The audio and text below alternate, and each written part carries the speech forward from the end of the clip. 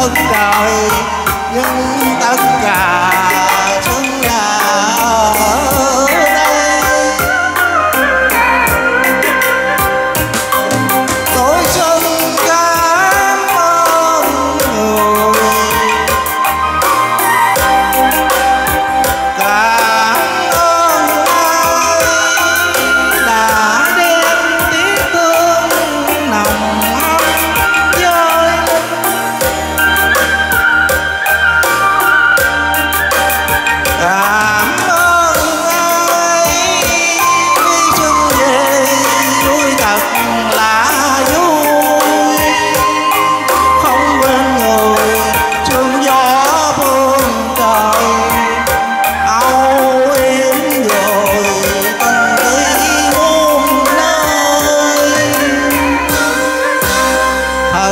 nhiều món tương tâm tư thả thiên tôi xin gọi về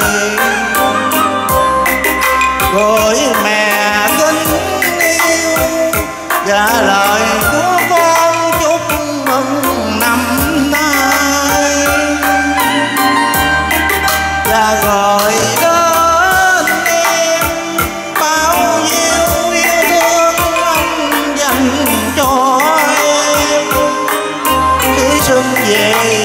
xuân à